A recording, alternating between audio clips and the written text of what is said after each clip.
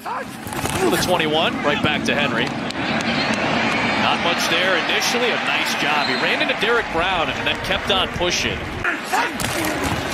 And it's a give to Derrick Henry. Banging his way, burrowing forward. It's a touchdown for the Titans.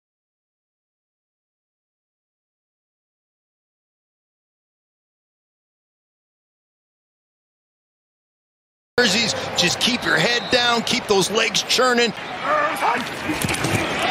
Here's Henry.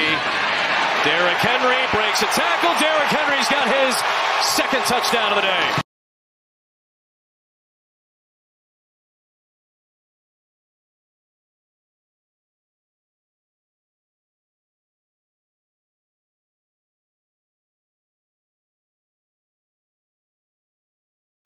Moves up to the second level safety. Missed tackle by Luvu and